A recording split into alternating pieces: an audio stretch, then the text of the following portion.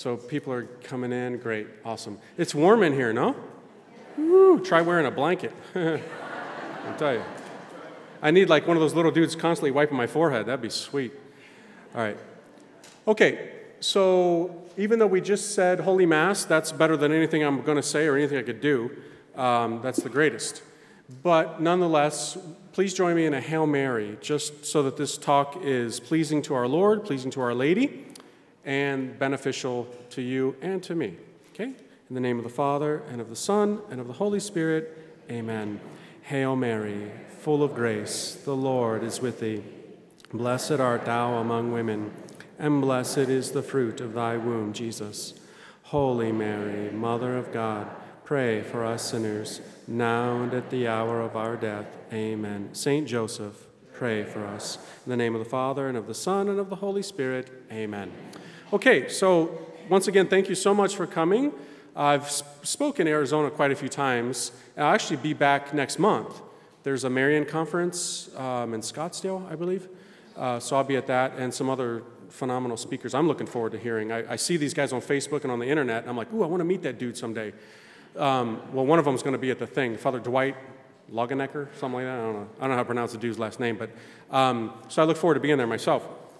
Okay, so the talk I'm going to give tonight is the Rosary, Weapon of Truth and Instrument of Mercy. Now, this is a relatively new talk that I give. I've got a lot of other talks. Um, this one is tailored around a book I'm writing right now.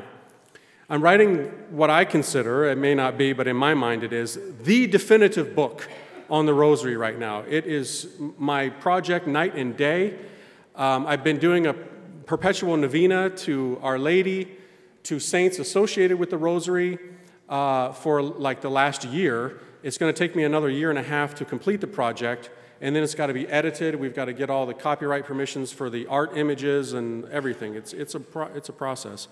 And if you know anything about the history of the rosary, this is no easy task because um, all kind of people have different theories about the origin and so forth. So um, it's, it's a project. So please say a prayer for me for that. But I want to share with you some of the wonders of this rosary because it is just that. It's wonderful. And I want to start this talk by giving you uh, an example of just how incredible it is and how, to some people initially, it can seem rather bizarre and strange, because it is on one level. Now, if you don't know me, maybe some, I am curious. How many of you don't know my story? No shame. Okay. Shame on you. No, just kidding. Suckers? No. Cool, I'm nobody. My story is, in a nutshell, this I was bad, really bad. Okay, I'm not here to tell my conversion story. A lot of people get bummed out by that. They're like, You're not going to tell your story? I've told that thing so many times, it's ridiculous. I love it. But you can buy it on video, DVD, YouTube, it's everywhere. It's all, you know. The essence of it is that I was not raised in a Christian Catholic household of any kind, and I went through a very tumultuous youth. I was in two drug rehabs. I had long hair down to my waist. I got a tattoo of the Grateful Dead. I got kicked out of the country of Japan. I was in jail. I was homeless. That's probably the shortest version I've ever given of my conversion story. and then I had a huge conversion, obviously. Uh, because my parents converted to Catholicism, and then two and a half years after they did, I trailed along, and I had a huge conversion. Well, after, well, what, what, what helped my conversion, what brought about my conversion, was a book that my parents, newly, new Catholics of two, over two years, had purchased a book on the Virgin Mary. I didn't know who that was or what it was. That was how ignorant I was of Christianity. I read that book on their bookshelf one night. It was about Our Lady and some alleged Marian apparitions, and it changed my life. Next day, next day, I went to a Catholic church. In my long haired funkiness, I dressed like an alien. You don't even know, okay? I went to a Catholic church, and I went inside reluctantly. I really didn't even want to go in, but I went in, and when I went in, what I experienced was this. In that little church, it was called Our Lady of Victory Naval Chapel on Norfolk Naval Air Station, largest naval facility in the world, because my stepfather was a military officer. Go into that chapel, and right in the front, nobody else in the entire church, but right in the front, by the door I came in, were five Filipino women. Now, I love to say this because it's true. You don't mess with Catholic Filipino women. Okay? They are special forces in the spiritual life. They are green berets. They will take you down. Okay? They mean business. You know, they do. In a certain sense, we wouldn't even be here tonight without them because, you know, Our Lady of Peña Francia, the whole Filipino connection thing, you know, they're responsible for so much. So I walk into this church because my, my mother had become a Catholic by one Filipino woman. This woman helped my mom talk to a priest. My mom brought my dad. They became Catholic. I go into this church, and there's five Filipino women sitting there, and I freaked out because I know what these people are capable of. they, they make people Catholic. I didn't, I was, you know, I go back to the church, and all of a sudden, these Filipino women start some kind of seance. So it looked like to me. One of them goes up and fires up candles on some altar looking thing. And there's a boat hanging from the ceiling because it's in the naval chapel. And she goes back to her place and she goes into her purse. And like often happens, and you know what I mean if you know Filipinos, there's always a self appointed, self appointed matriarch who tells everybody else what to do. You know, I, guess I love Filipinos. Had I not become a priest, I'd have married a Filipina. I'd be living in Surigao surfing my brains out. But that, that's not God's plan. Okay? I love Filipinos. But there's always a matriarch who tells everybody else what to do. You got to do, got to do, got to do, and you better do it, right? so this one woman goes into her purse, and I'm, I'm in the back, and all the way in the back, and she pulls out this thing, like a necklace looking thing. And she starts doing some incantation to the boat, the mystical ship hanging from the ceiling that she fired up candles underneath. I don't know, this is my first time in a Catholic church. I'm clueless.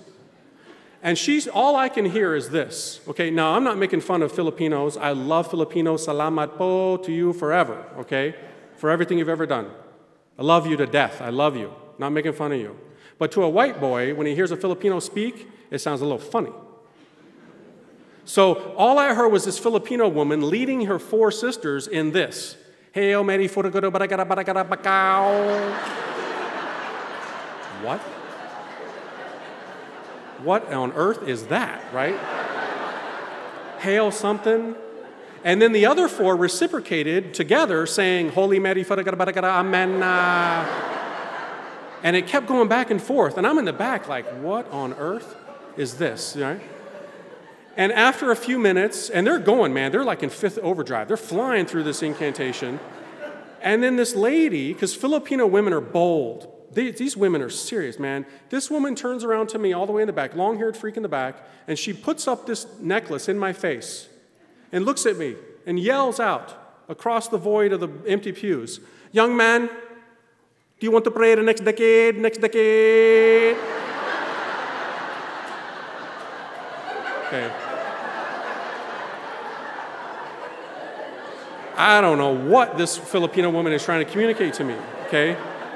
Because I'm not educated. I had dropped out of high school. You know, I, was, I didn't have a lot of education, but I wasn't stupid. Decade means 10 years to me, right?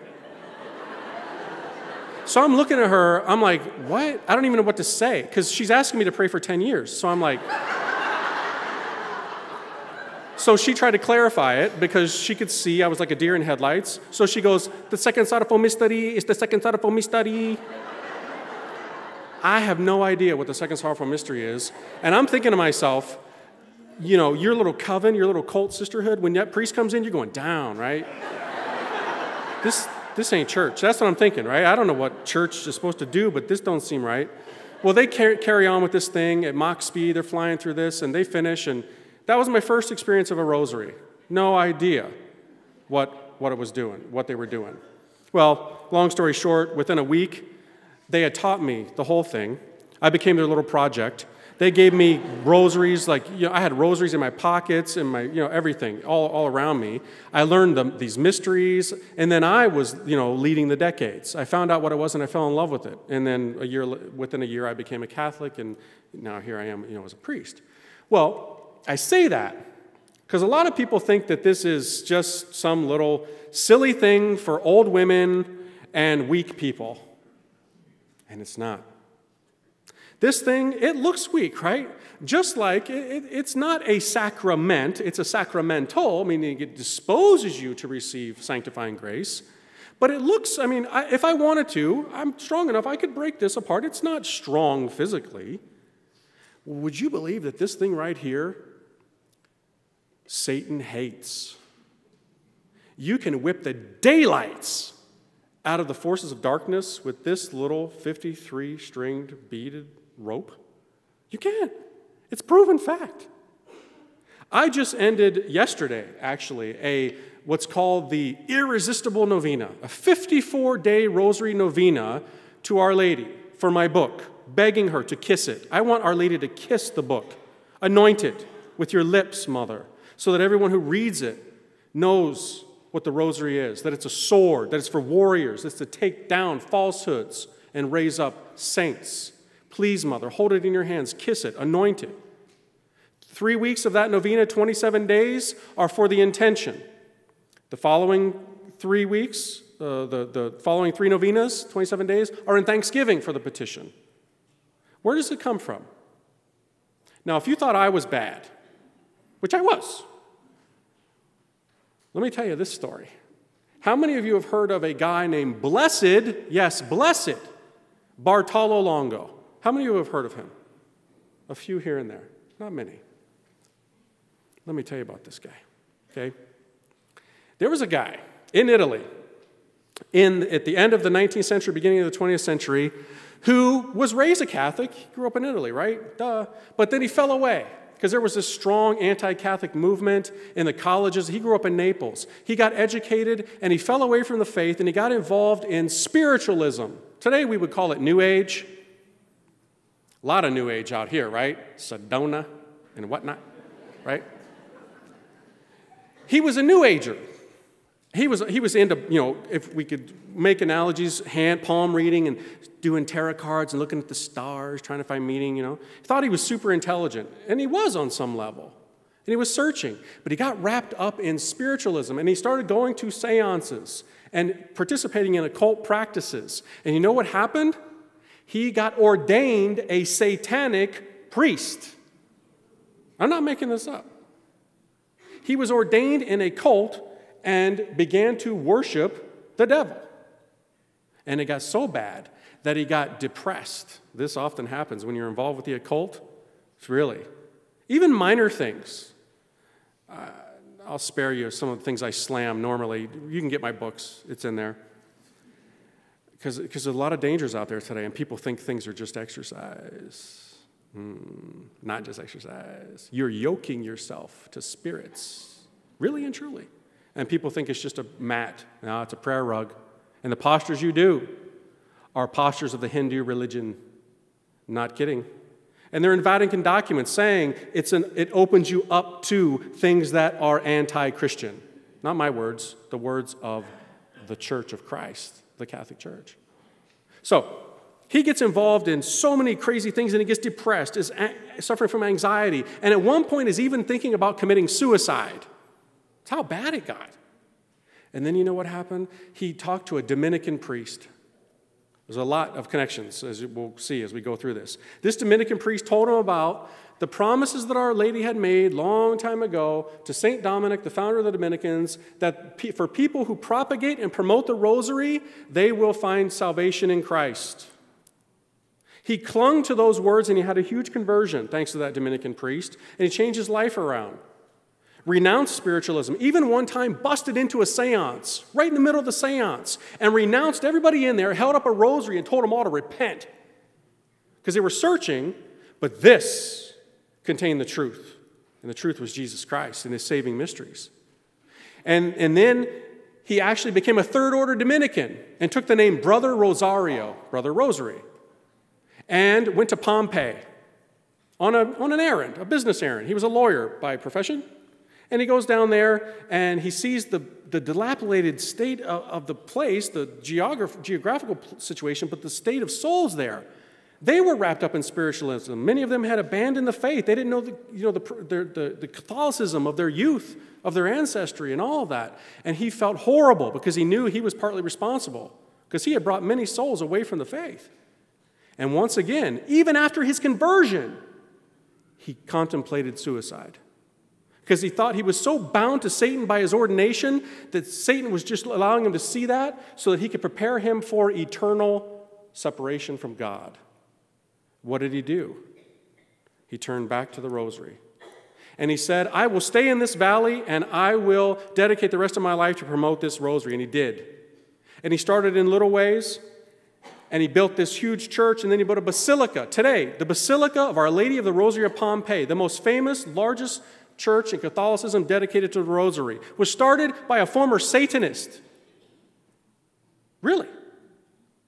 And then, because in those days, in the confraternity of the rosary, you had to have an image dedicated to Our Lady of the Rosary, which showed Our Lady giving the rosary to St. Dominic. So he, he got one, but it was horrible image. It was, it was so bad that nobody thought it was worth anything that they actually brought it from Naples, where it was purchased, to Pompeii on a pile of dung.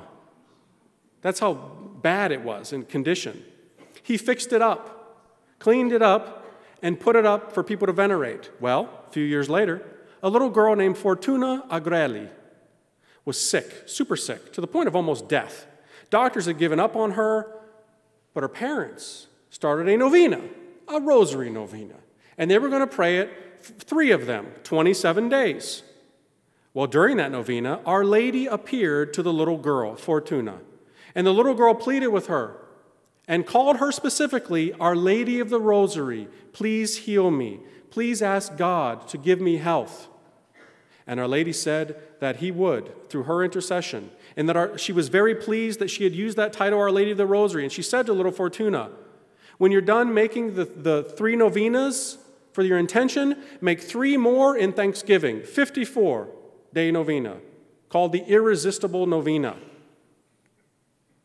I just finished it yesterday. It works. One of my intentions was to get the, an endorsement for my book that I haven't even fully written yet, although I have it in manuscript. I'm just cleaning it all up and everything. It, it, it's a project. I sent it to a bishop, uh, who I'm, probably some of you may have heard now, in Nigeria, who last year had a vision of Jesus. Go on YouTube tonight and read about this, it'll blow your mind. He, he's, in, he's the bishop in Nigeria where Boko Haram, radical Muslims, are kidnapping girls and doing unbelievable things I will not mention here.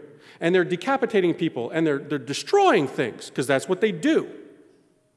He had a vision of Jesus, this bishop, and Jesus appeared to him with a sword, with a sword of steel.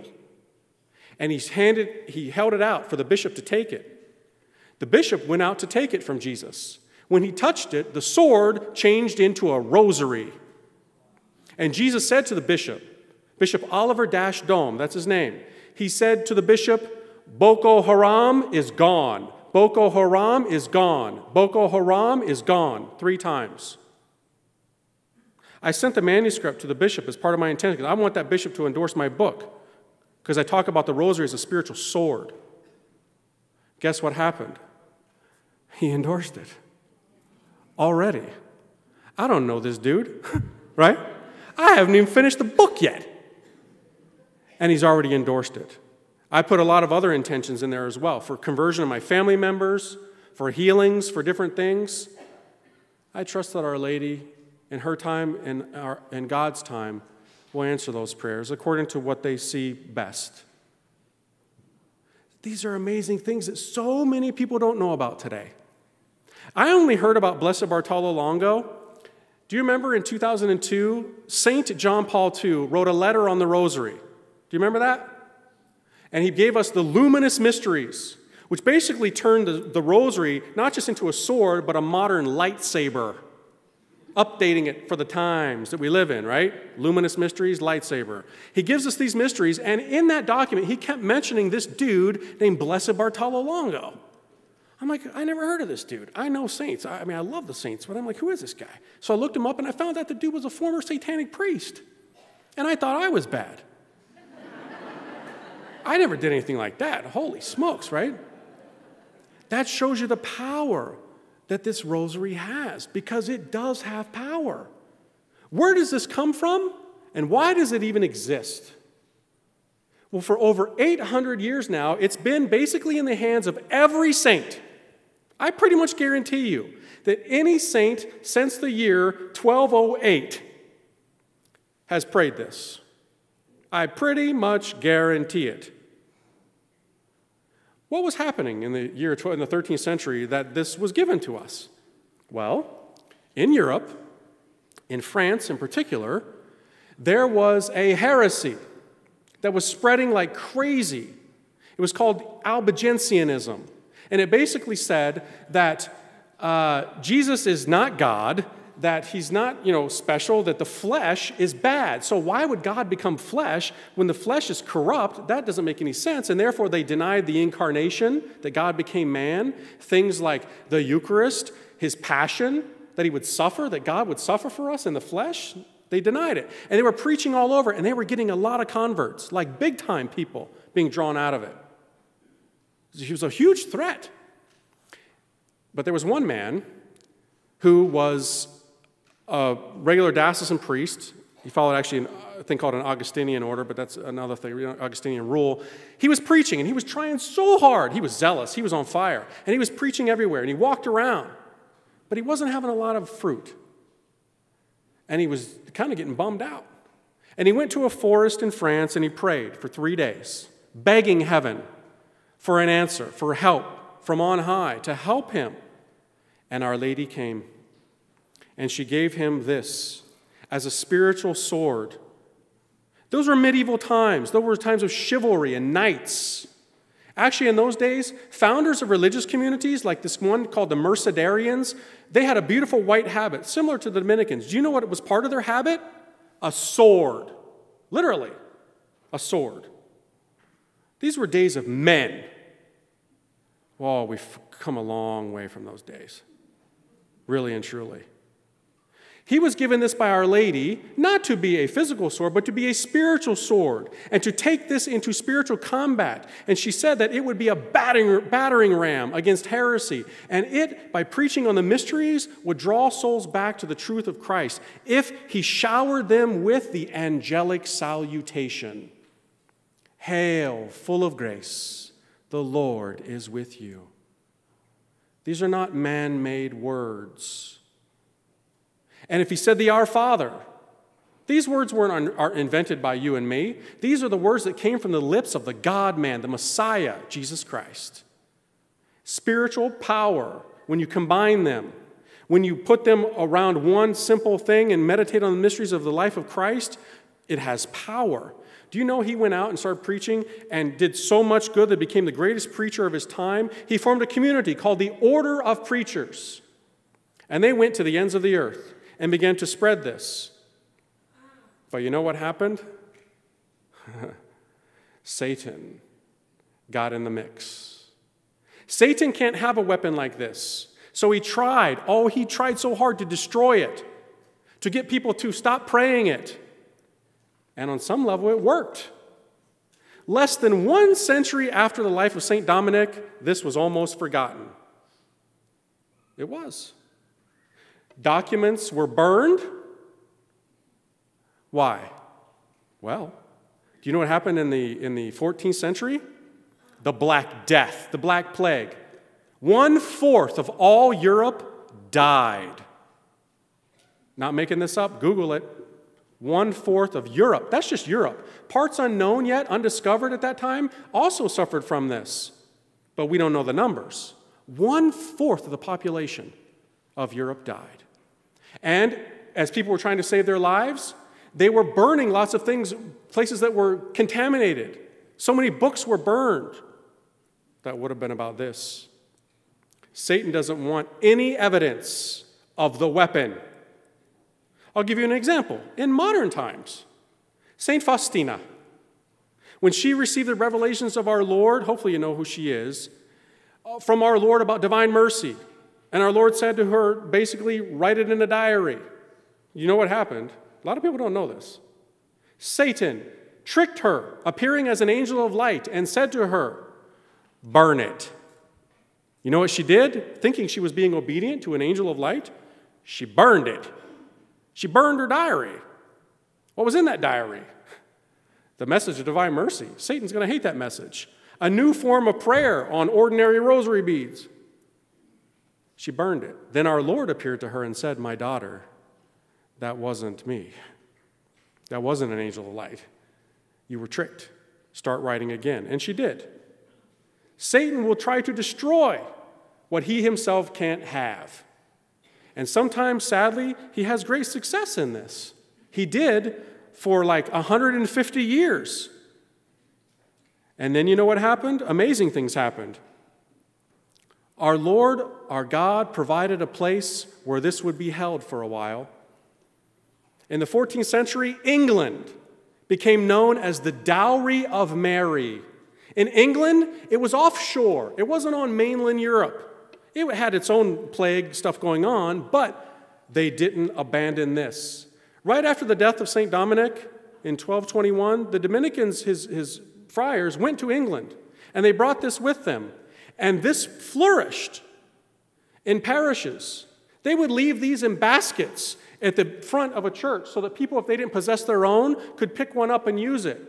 These things are recorded in documents.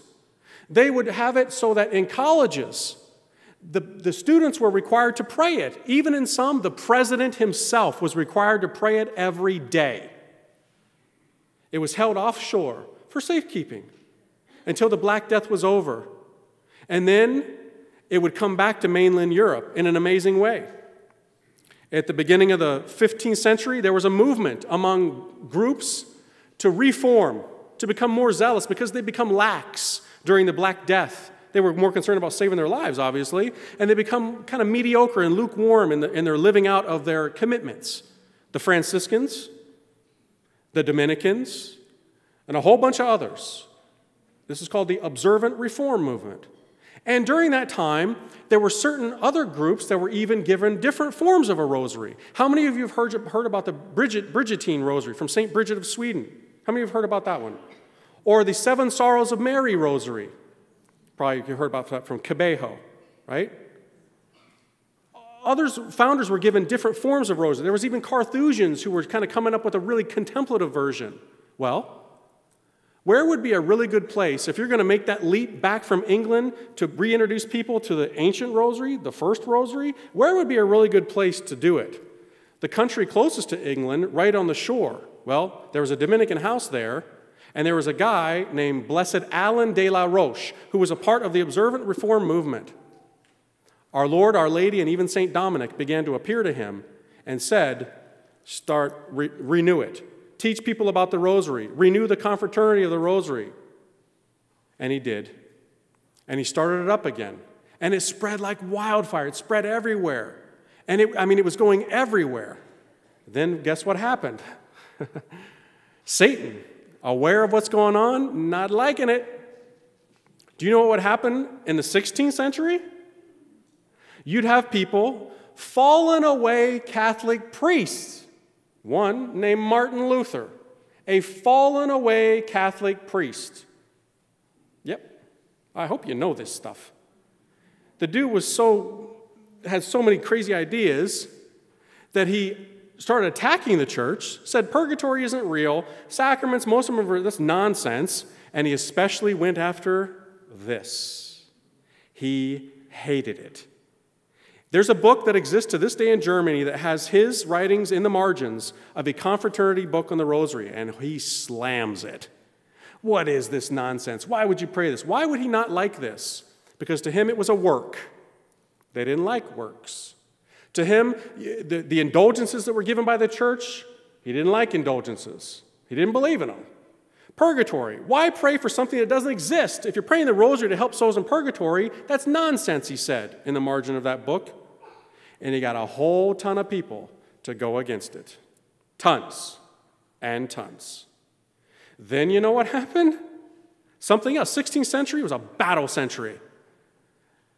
After the Protestant rebellion, guess who else started to attack the church in a huge way? They've been attacking it since they came into existence.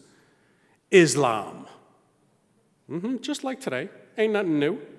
We think this is new? Mm, this is a centuries old story here, my friends. They wanted to conquer Rome, literally, just like today they say. I hope you guys see these videos because you won't see this stuff on the news media. Today, they still want to conquer Rome. They want to wrap a turban around the Pope's head and turn St. Peter's into a mosque. That's a fact. They wanted to do this huge, in a huge way in the 16th century, and they were very close to doing it because Christendom was divided.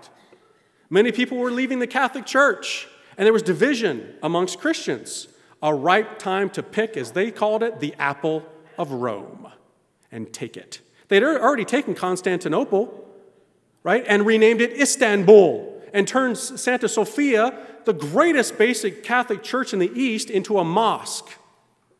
Now they wanted Rome. That's what they've always wanted. And they were so close to doing it that they formed a militia, a huge militia, massive in numbers, with skilled men to arm the boats. Unbelievable navy that they had. Guess who was Pope at this time? A Dominican. God provides. St. Pope Pius V. You know what he did? He mandated that all Christendom pray the rosary as a weapon against this threat. Because if they took over Rome, the West is lost. He knew this. And he mandated that this be prayed, and he himself prayed it at uh, the Dominican church in Rome. Santa Maria sopra Minerva. In that church, he himself prayed it. I could go on and on about the story of the battle, but it was a miraculous battle. Everything was against the Christian uh, naval navy, but they won. The wind came, turned in their favor, put a fog in, in, in, on the Muslim side, and they came in and they won in a miraculous way. And it saved the West, basically saved Christianity as well. And they were not happy. And they've never been happy since. And they keep trying. My book will detail pretty much every single story of how they've tried to conquer Christendom and still do and want to and are thirsting for its destruction. They've even got something that looks like this and kind of mocks it. I ain't kidding. This is a spiritual battle, it's a clash of creeds, it's warfare spiritually. They, if they could, they would destroy this. There's a battle going on. But you know what happened? God raised up saints, great saints, great men like St. Charles Borromeo and St. Robert Bellarmine and St. Philip Neri and tons, tons and tons. The litany could go on and on and on who preached, promoted this. And then you know what happened? Incredible things happened. Our Lady goes to Mexico to a little dude named Juan Diego converts 10 million people in like eight years. Dominicans arrive. They set up confraternities of the Rosary. The great Catholic missions begin around the world in the 16th century. And what happens? Every single missionary, from St. Francis Xavier, you name it, took this with them everywhere they went. When they went to the Philippines, what happened? Our Lady of Naval, Our Lady of the Rosary of Naval went there. No matter what country people, the missionaries went to, they brought this. There's even stories, and I'm not making this up, of a woman named Venerable Mary of Agreda, a nun in Spain during this time, who was able to bilocate. Oh, I don't know if you know what that is. That means you can be in multiple places at one time.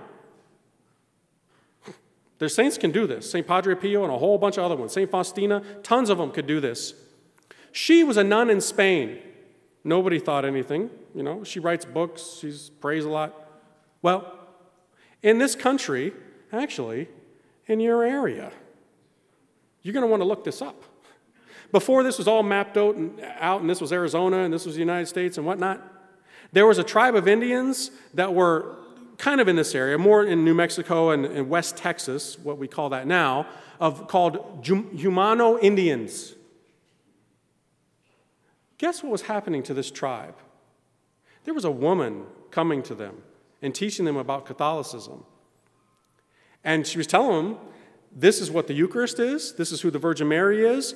There's going to be Catholic priests who are going to come soon, and they're going to tell you everything I've been telling you, and they're going to give you the sacraments. Guess what happened? Franciscan and then Jesuit missionaries came to that area and came upon a tribe in the middle of nowhere of Indians who knew Catholicism. How in the world? And the tribe said to these missionaries, Yes, the woman in blue has been coming to us for years and telling us that you would come. And she told us, and you know what they already had in their hands? Rosaries. Because she, when she was bilocating in her convent in Spain, she had piles of them not being used. She took them with her and gave them to the Indians. The missionaries thought that these Indians were talking, they had a, a vision of the Virgin Mary, a woman dressed in blue. But the Indian said, No, we know who the Virgin Mary is. She told us about her, but it wasn't her. It was somebody else, but we don't know who she, she was. Well, in those days, the, the missionaries kept great logs, and some of these missionaries were actually from Spain. So it didn't take very long for them to discover that it was this nun who was reported to be a mystic who was writing a big fat volume about the life of the Blessed Virgin Mary, who was bilocating to this tribe. Look this up. It's a fact. It was even in secular things of the time. Not the Catholic Church making this up. It's true. God wants this everywhere because it has power to change people. You know something interesting? In that battle I was talk, telling you about against uh, Islam called the Battle of Lepanto, it was near Greece. Do you know what was on one of those ships? An image of Our Lady of Guadalupe. A lot of people don't know that. When Our Lady appeared to Juan Diego in the 1530s, the bishop was so in awe of what happened, he immediately had four copies made and sent to various dignitaries and so forth. One of them was sent to Spain. In Spain, the, the, the president gave it to one of the captains, Doria was his name, on one of these ships, and he brought it to the Battle of Lepanto. Our Lady of Guadalupe was at the Battle of Lepanto that conquered the Muslims. Wow. Leave it to Our Lady to do this. See, when there's a void created by Satan, when tons of people are leaving the one true church that Jesus founded and others are attacking it, what will Our Lady do? She'll bring about 10 million converts in eight years because she can do it. She can do amazing things like that, and she has throughout history. This thing has got so much power, so much power. I don't go anywhere without it. After my little experience with the Filipinos and my conversion, this pretty much has never left my pocket. I mean, this isn't the original one, obviously, but I carry this thing everywhere, right? It's got so much power. You know how long it takes to pray this? 15 to 20 minutes. That's it. Do you know how much time you waste on Facebook every day? I do too. Pray for me. I, just like you, I ain't. Eh. 15 to 20 minutes. That's it. Do you know how long most temptations against purity last? 15 to 20 minutes. It's a fact. This is the antidote, my friends, for the things that, that are against us. By meditating upon this, it's the way out. It disposes us to want to go to confession. Really? I bet you, I totally bet you, that if confessions were going on right now on both sides of the church, and I went up to the people and I said, Excuse me, I'm very edified that you're in the line for confession. That's awesome. May I ask, do you pray the rosary? I bet you almost all of them would say that they do. I bet you. But if I went out to the street and just asked a random dude, Excuse me, are you Catholic? And he said yes. And then I said, Do you go to confession? And he said no. I almost guarantee you that he doesn't pray the rosary. Our Lady leads you to the sacraments. This leads you to Jesus Christ. Really, it doesn't lead you again. You know, this is a biblical prayer. A lot of people think Catholics making up this stuff, just mumbling it over and over and over. No, that's not what we do. Would Jesus really be offended if we meditated upon his scourging, crowning, and all of these glorious mysteries of our salvation? Is he going to say, Hey, what are you doing? Don't think about that. 20 minutes? Is that really going to be offensive to our Lord? Absolutely not. No more offensive than if I were a married man and I said to my, my wife every day, honey, I love you, I love you, I love you, I love you. I love you. I love you. I love you. I love you. I mean, if I, I think I know women pretty well, she's not going to be like, okay, fine, right?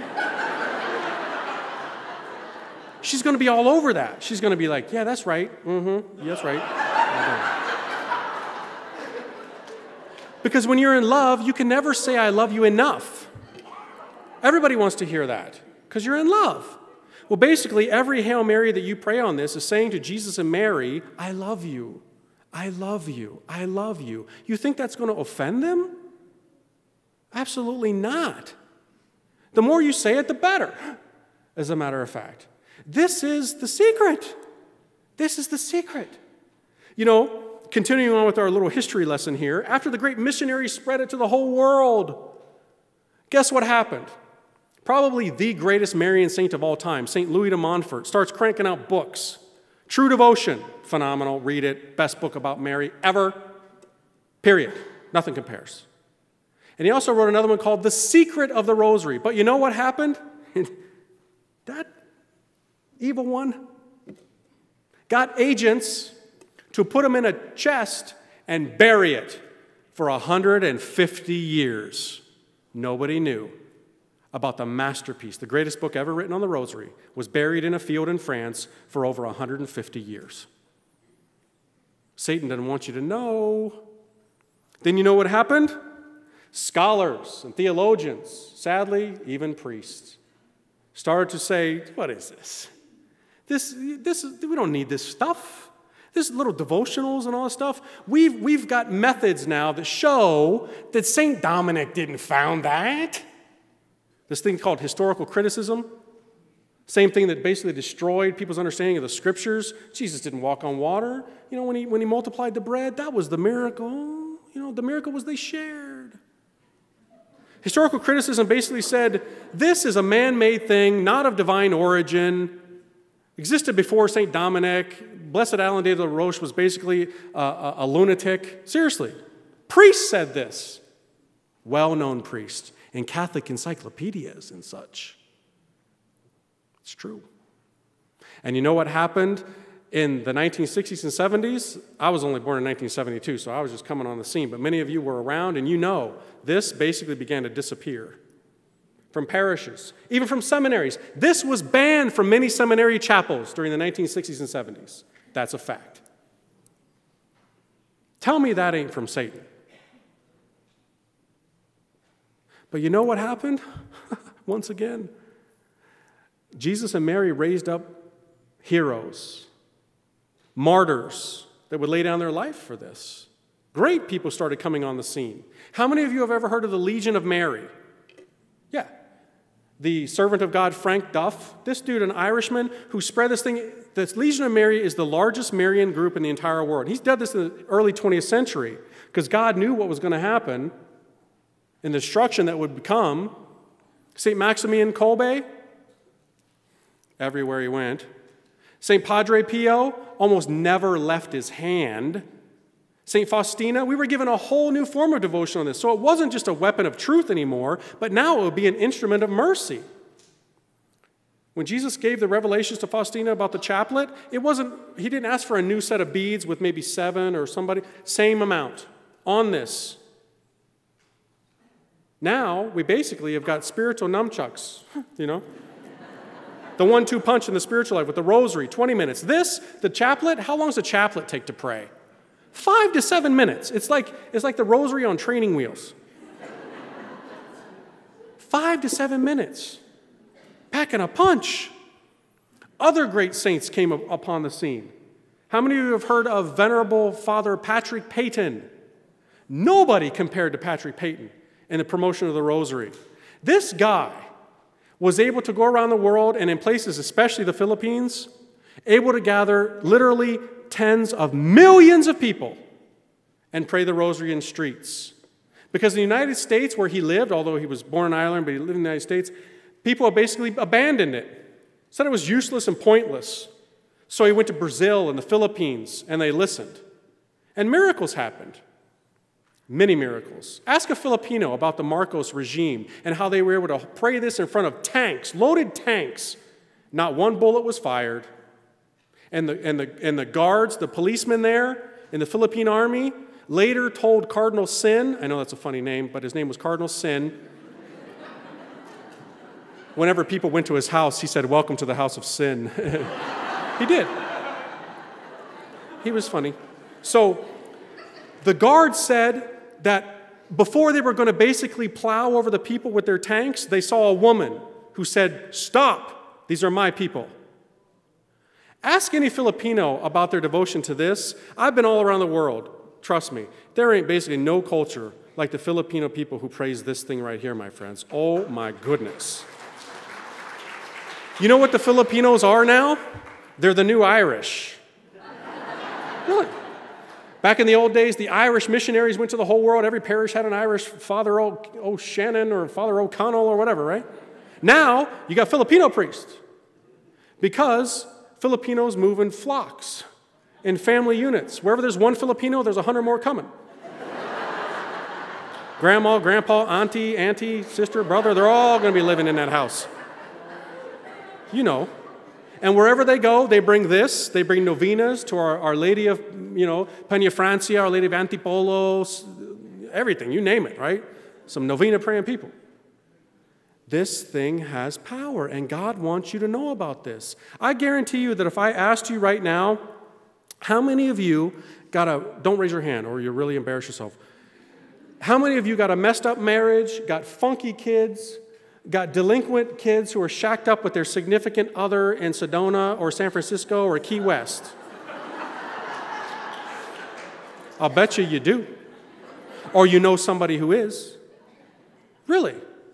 How many of you recently had, you know, you went on your Facebook and it was just rainbows? Oh, rainbows, just rainbows, right? How many of you put a rainbow on yours? Yeah, no way is right. Because we're in a spiritual war right now. And it's serious. And it's going to get a lot more serious. A lot more serious. In the last century, you know there were more reported Marian apparitions than any other time in the history of the church? Many of these are approved. There's many that are not. Many are still under investigation by Vatican commissions and local bishops and whatnot. But many of them are approved. Many. I'm going to put on my glasses and read to you a few of them, and you know all of them are rosary related. And in some of them, Our Lady is very serious. And these are approved by the church. What are some of them? Well, we've got obviously Fatima, right? 1917. We're coming up on the 100th anniversary of that one. Beauraing, Belgium, 1932 to 1933, approved. Rosary, Mary came with it in her hand. Banneux, Belgium, 1933, same thing. She came with the rosary in her hand. St. Faustina, we know that one. There's one right now that's controversial that may end up being approved this September. Lipa, Philippines, we'll see. Very interesting stuff there. Akita, Japan, 1973. Wow. Read those messages. Our Lady basically says that unless mankind repents, we're going to be wiped out. There's only going to be two things left a sign and the rosary. You know what she says in there? Cardinals will be against cardinals, bishops against bishops, and there will be great confusion. Do we not see this today? Are we living on the moon? We're seeing this played out in the media bishops against bishops. Chaos. That was 1973, and that's approved. Cuapa, Nicaragua, where Our Lady even gave a history of the rosary to confound the critics and the skeptics. You don't think it was founded by St. Dominic? Go read the approved apparitions in Nicaragua, where she gave the visionary Bernard, who became a priest, a vision of men in white, Dominicans, praying the rosary. And she says that from the Dominicans, it was given to the Franciscans, and then it was given to everybody else. Mm hmm. That's what I thought. Kibeho, Rwanda, right? Uh, you remember this one? This was one of the most prophetic. Sadly, the people didn't listen. The two tribes, the, the Tutsis and the Hutsis, or whatever they were, I, I forget their names, right? The two tribes there, they, they, one tribe basically massacred the other with machetes, and over a million people died because they didn't listen to Our Lady. That's approved. Our Lady, even, her heart was so hurting from this, she gave them what's called the Seven Sorrows Rosary. They thought it was brand new. because nobody knew about it, because Satan tried to basically bury it. It had been founded by the seven holy founders of the Order of Servites in the 13th century, same era as St. Dominic. She wanted to bring it back to life because the people needed it, but they didn't listen. And over a million people died by machete. She said, Unless you listen to me, there will be rivers of blood. They didn't listen, there were rivers of blood. San, Nic- San Nicolas, Argentina, from 1983 to 1990. Actually, I believe the visionary is still living. Approved our Lady of the Rosary, and countless others. There are so many still happening right now. We, remember the bishop I said just last year had a, had a vision of this? This is a bishop.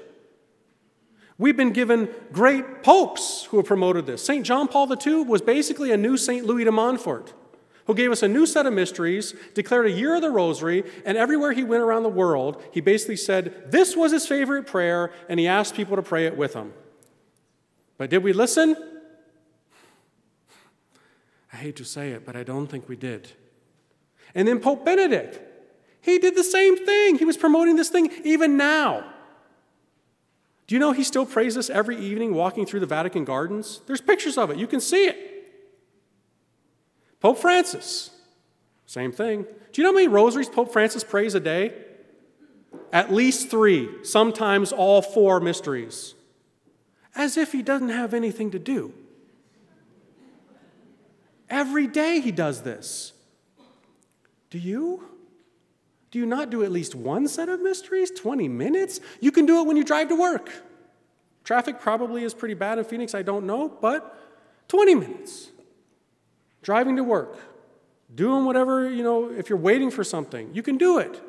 John Paul II actually said, don't be afraid to do it in public. You don't have to trumpet it. You don't have to walk down, I'm praying the rosary now. not, not that, right? But there's nothing. Have you ever seen somebody do this? I've seen it, and I'm edified. See a dude just walking to his dog down the street, and he's got a rosary in his hand. You know he's praying it. That's awesome, right? If so many other religions can do this kind of stuff and their version, why don't we do it in public? Don't be afraid, right? It, it, has meaning, it has power. And when people see you doing it, they might want to do it too. I guarantee you that if you pray this as a family, you're going to have a correction to a lot of your problems. When you, when, as spouses, when you have an argument, your little arguments are going to seem stupid after you pray a rosary. Guarantee it. You're going to take 20 minutes with your spouse, pray the rosary, and then you're going to look at each other and be like, honey, I love you. I'm so sorry. You know, even if you're right, there'll be mercy. Right? It has that kind of power. Really, this thing is therapeutic. It really is. If you suffer from addictions, especially impure ones, take this in your hand instead of a mouse or a clicker or whatever it may be. This is your way out. I'm not kidding, my friends. I've been to two drug and alcohol rehabilitation centers, and I hate to break the news to you. Like 97% of all modern re- secular rehabs are almost complete failures. That's statistics. That's not me just saying that. It's a fact. Why? Because they don't get to the root of the problem sin. It's a band aid to a spiritual problem. You know, there's a woman named Sister Elvira who started a rehab, if you even want to call it that. She doesn't allow any medication. What she does, she has them pray the entire rosary every day, do manual work, and fast. Do you know what the success rate of Sister Elvira's Cenacolo, means cenacle, rehabilitation program is? Almost 100%. It ain't rocket science, man. But see, if the world knew about this, it'd put a lot of pharmaceutical companies out of business. We wouldn't be popping all the pills we pop and be diagnosed with ADDDQYZUDDDY. Focus your mind. Even if it wanders, and it will, nobody's prayed a perfect one of these, probably since it was said by the angel, right? But when you keep refocusing your mind and your heart on our Lord, healing takes place. Healing of memories, healing even in your body. I cannot tell you, they're going to be in my book. Miracle upon miracle upon miracle has happened with this. This is medicine. This is like a, a, a life raft thrown from heaven so we don't drown in the deluge that's upon us. God said He would never destroy the world again with a flood, a physical one. But isn't it interesting that in the book of Revelation, Satan is spewing out of his mouth a flood to attack Mary's other offspring? That's you and me. It's a spiritual flood of perversion, sickness, disgusting things, men marrying men. What insanity is this? 50% to three fourths of Catholics no longer believe in the Eucharist. The amount of Catholics that that practice contraception and vote for basically candidates to be presidents who are idiots? Seriously, we got problems.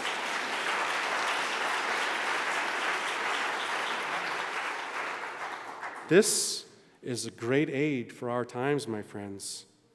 If you're not packing this on your person, you're weak. Really. With this, you can, you can do so many things for yourself, for your marriage, for your children. Once again, so many of you, probably every one of you, has a son or a daughter who doesn't go to church, hates the church, has abandoned the church, and you thought you did good because you sent him to a Catholic college. A Catholic college. Right. There's not that many left, my friends. Don't let the names oftentimes deceive you. You could be paying so much to send your kids to a Catholic college, and they're going to end up hating the church when they come back four years later. Basically, if it's not in the Newman Guide to Catholic colleges, don't send them there. If you don't know what the Newman Guide is, get it, look it up. I know these are strong words. It's what I do. Somebody needs to be saying it. You better be packing this. I'll tell you this story. You know, the, uh, in France, there was a very educated young man studying science. He was on the train. And he got on the train, and there was this old man, all wrinkled and you know stooped over, and he was thumbing one of these through his fingers. And the young science student said to him, "You what, old man? What are you doing? I mean, that stuff is not that's that's that's fairy tale. We, science, you know, is now you know proven things, and we, we, don't need these little crutches and so forth. And the old man, in his humility, said, Really, I, I, I'm, I don't know what kind of science you're talking about. Please tell me. I'm interested to learn. So this young you know, college student schooled this old man and told him about you know, all these things he was learning and you know, how the Catholic Church was you know, the great oppressor of, of, of, of reason and people using their brains and so forth. So at the end of the trip, when the old man was about to get off at his station, the young man said, Look, if you want to learn more, I'll tell you. Give me your name and contact information, and I'll, I'll, I'll, give you more information about science. The old man went into his jacket and pulled out his card, and he gave it to the young man. And on the card it said, Louis Pasteur, the head scientist in France who basically discovered so many modern vaccines. The reason you don't basically have things like maybe polio, and the reason you can basically drink milk today without getting some kind of disease or bacteria or so forth, is because of him. He wasn't stupid, he wanted to be a saint. When you combine the two, intelligence and this, you got power. How many of you remember Fulton Sheen? You know how madly in love he was with this? He even invented a new one called the World Mission Rosary, where there were colors designated that you pray for each continent because of the different color that was on it. He was madly in love with this, the rosary. My friends, now's the time for this. Now is the time for us to take up this weapon of war. Let me read you this quote, one of the more famous quotes that Our Lady said to St. Dominic when she gave it to him. She said, in 1208, You, St. Dominic, are to preach this devotion as a practice of piety most dear to my Son and to me, as a most powerful means of dissipating heresy, extinguishing vice, spreading virtue, imploring the divine mercy, and obtaining my protection. I desire that this manner of prayer shall be perpetually promoted and practiced. The faithful shall obtain by it numerous benefits and shall always find me ready to aid them in all their wants. This is the precious gift which, through you, I bequeath to the world. Do you own one? Get one. Learn how to pray it. Pray it in your family. Pray it as your spouses. Get books about it. Get my book when it comes out. It won't be out to 2017, but I've already got one on it, and I think they're here tonight. You can buy it, I'll sign it. It's a, it's a book that contains the largest collection of quotes on the rosary of any book in print. It's called Rosary Gems Daily Wisdom on the, on the Holy Rosary. It came out, what year is it, 2015? It came out earlier this year, I think. I don't know, at some point. I'm so busy, it's crazy. I think it came out maybe in February. So get a copy of that book. Read about the rosary. Learn about the rosary. You know what I also encourage you to do? Go on a pilgrimage. Go on a pilgrimage. You'll see people praying the rosary in processions, and you'll be like, I'm a loser. Why have I not been doing this? You'll cry. You'll see the piety, the devotion of people all around the world. Last year, I, lead pilgrimages. I'll tell you about it in a minute. Last year, I was in Lourdes, which is phenomenal. And you hear all these rosaries in different languages. And I heard one, you know, being prayed in English, but it was Irish, English. The Toid Sorrowful Mystery. The Toid Sorrowful Mystery. Love it. Comical, right? You just go with it, you know. And all these languages. And you're like, I'm a Catholic and I don't do this? What am I, what am I doing? Why, is, why am I not doing this with my husband, with my wife, with my children? You know, in days of old, actually, my father did it before he died. My father gave me his rifle, literally, his rifle. That meant something to me. I still have it. It meant something to me. Fathers handed down their weapon to their son. Son, I used this for years myself. I hand it on to you. Well, wouldn't it be cool if a father was able to say to his son or multiple sons, Son, this is the rosary that I prayed when I first met your mother, my dear wife, the lady I love. I give it to you. Pray it, treasure it all your days. That means something, right? You're not going to ditch it, you're not going to get rid of it. It, it, it. You know, take it and then pass it on to his son and so forth. Another thing, and I promise I'll end with this or we'll be here all night. Do you know how many people die every day on planet Earth? This may shock you. The rosary can be used to pray for the souls in purgatory because it has indulgences attached to it that you can apply to yourself or to souls in purgatory. This thing has power, blessed by the church. Do you know how many people die every day on planet Earth? At least 150,000. Did you know that? Most people don't because you don't see it, right? Many of these people die unprepared for death and are in purgatory and they, got, they need help, they need prayers. You can help every day. Do you know if you pray the rosary together with a group every day, you get a plenary indulgence? Do you know what that means? It means a total, complete forgiveness of sin and the temporal punishment due to sin, so that if you were to die right after you got a plenary indulgence, you walk straight, straight into glory. Wow. You can apply that to a soul in purgatory. Every single day, you can be plucking souls out of purgatory. Really. Take advantage of it, okay? Okay, so let me mention this and I'm going to hand these out. I mentioned that I do pilgrimages because pilgrimages have power and I've seen, I've seen people's lives change. I've seen them. People come fighting and kicking, right? They think the, the wife tricked them into going on a trip to Europe. And then on the bus every day, father keeps praying the rosary, and they pray the rosary at this place, they pray the rosary. By the end of seven to nine days, they got a rosary themselves. They asked me to bless it, and they say they're going to pray it when they come back to the States. And the majority of them continue to do it because it has power. It'll bring you back to the faith or give you a new understanding of it that maybe you never had. So, you don't have to go on mine, just go on any pilgrimage. I, I believe the pastor here leads pilgrimages. The lady who, one of the ladies who picked me up at the airport leads pilgrimages. Go on a pilgrimage. I'm going to pass these out so you know about the ones that I do. And my, my saintly mother, I, she is a saint, canonized a woman, I say. I, she's unbelievable. And to be able to pray a rosary with my mom, oh, the best thing ever. Really is. It's unbelievable to be able to pray a rosary with my dear mom. So, as you know, we're going to enter into the year of mercy on December 8th of this year. This is huge, my friends. Please take advantage of this. Please take advantage of this. Because we got tough times ahead. The church is going to be seriously persecuted. We're going to get big time Lepantos going on. Trust me on this. If we elect certain people to be future presidents of this country, doomed Doomed. We already are. But even worse. I'm not kidding. I am not kidding.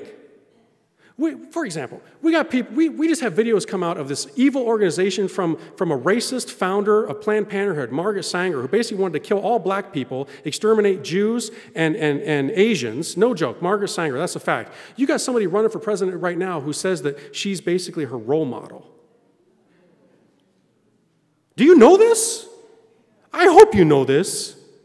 Because if you don't, you're watching the wrong news sources. You're not reading the right things. And this is the state that we're in right now. And you know what's happened right now? The people who made those videos are going to be the ones investigated. The current leaders, most of the current leaders of our country are, are justifying it. The selling of baby parts. What insanity, evil, and wickedness have we become? It's horrible. Absolutely horrible. God have mercy on us. Now's the time for mercy. One of my brother priests, Father Michael Gaitley, is spreading it everywhere in a book he just wrote. We need this now. The Pope knows it. Year of Mercy, December 8th to the Feast of Christ the King next year in November. Don't miss the grace. Don't miss the grace. I'm going to be leading two pilgrimages to Poland, the heart of divine mercy. One, we're going to be there for Divine Mercy Sunday next year. You're never going to get another opportunity to be in Divine Mercy in Poland in the year of mercy. Come. Tap into it. I'm going to lead another one the month after that, in case you can't get off at that time, to Krakow and Rome. Then in June, I'm going to go to Spain, Santiago de Compostela, Madrid, all ton, tons of places. In June, I'm going to go to Italy. Guess where I'm going to go in Italy? Pompeii to the Basilica of Our Lady of the Rosary, founded by a Satanist. I'm going to go to the shrine of, our, of uh, St. Philomena. St. Philomena is awesome. It's helped me to be a pure priest, just like she did St. John Vianney. We're going to go to have an audience with the Pope. It's going to be phenomenal. Don't miss the grace. The Pope has actually requested in this year of mercy that we take advantage and go on a pilgrimage and avail yourself to the door of mercy. And you'll be able to get a plenary indulgence every time you cross it. Wow. I've said a lot, I could say a lot more. The main thing I want you to know, my brothers and sisters, I beg you. As a priest, yes, you call me father, but as your brother, I beg you to pray this. Don't think that this is weak, useless nonsense. It's a weapon that Satan fears, that saints pray, that popes promote, that angels have said, that the lips of our Lord, teaching us the Our Father, have said. It's of divine origin, it's a sword, and you need it on your person night and day. Don't leave home without it, okay? I'm not going to make you promise me, but I want you to promise me. I will be with you in carrying this weapon of warfare. Amen? Amen. Amen. All right. God bless you guys.